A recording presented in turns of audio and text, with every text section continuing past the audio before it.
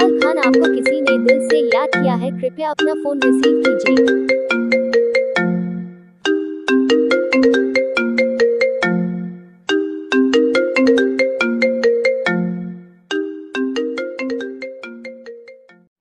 किसी भी मोबाइल की रिंगटोन के साथ अपने नाम की रिंगटोन बनवाने के लिए अपना नाम कमेंट में लिखें और चैनल को सब्सक्राइब ज़रूर करें।